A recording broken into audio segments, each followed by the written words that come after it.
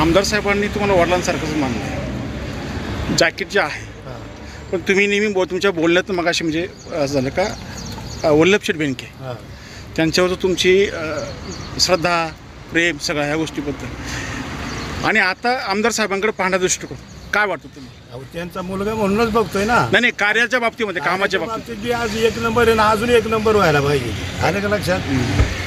आणि वल्लभ शेठनी मी सांगितलं ते कामं केलीच. सोडली नाहीत काय?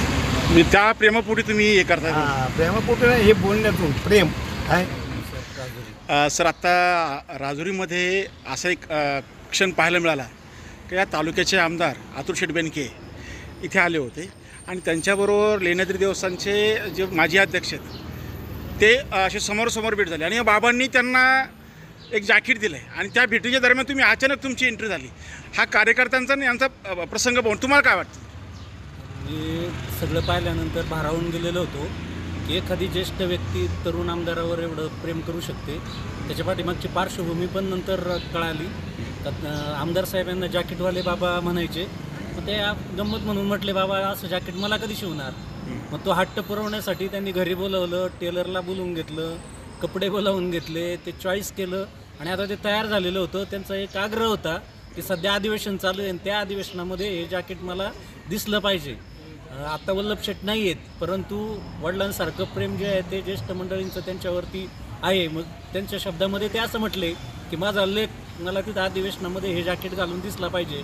आणि आमदार साहेब मला वाटतं उद्या किंवा परवा ते जॅकेट घालून आप- विधानसभेमध्ये आपल्याला अधिवेशनात दिसतील आणि ते दिसावं हा हट्ट पूर्ण करण्यासाठी.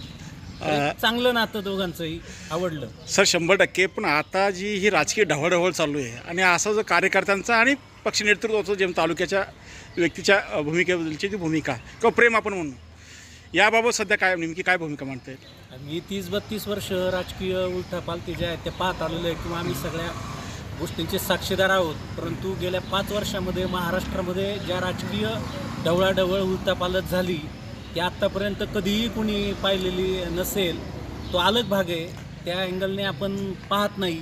परंतु जे ज्येष्ठ मंडळी असतात किंवा सर्वसामान्य नागरिक असतात त्यांनी एखाद्यावर श्रद्धा ठेवली तर ती कायमस्वरूपी ठेवतात हेच या उदाहरणामधून दिसून येते. आमदार साहेब ज्ञानेश्वर लेनेत्री देवसांचे जे माजी अध्यक्ष होते त्यांची इच्छा अशी होती का आमदार साहेबांच्या म्हणजे वल्लभ शेठच्या आमचं प- शेठवर फार प्रेम होतं.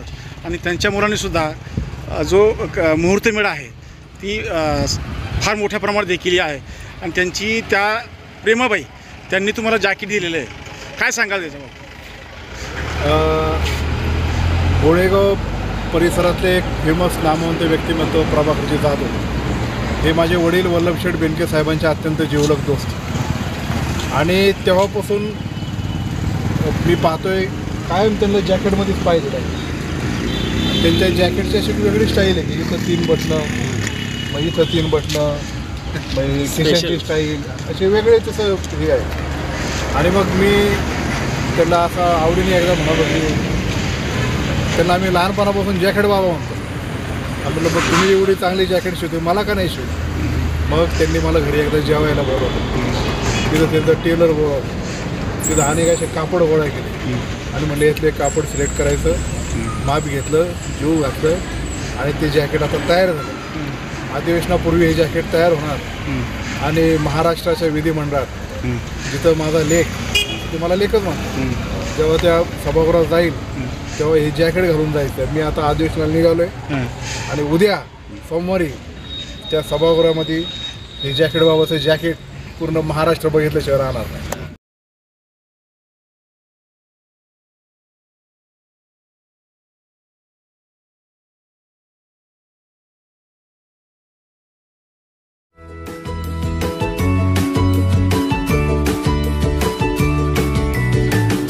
बातम्या शेतीच्या.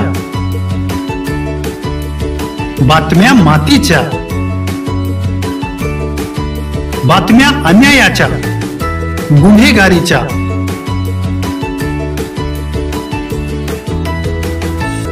राजकारणाच्या आणि समाजकारणाच्या. शोषणाविरुद्ध बुलंद आवाज जनसामान्यांच्या हुंकाराची गाज. सत्कार्याला प्रोत्साहन. दुष्कृत्याला अनुशासन. निर्भीड निस्पृह सडेतोड बेधडक आणि रोखटो म्हणजेच विघ्नहर टाइम्स शोध बातमीचा ध्यास सत्याचा. आपलं चॅनल आपली बातमी. सबस्क्राईब तर कराच पण बेल आयकॉनवर क्लिक करायलाही विसरू नका.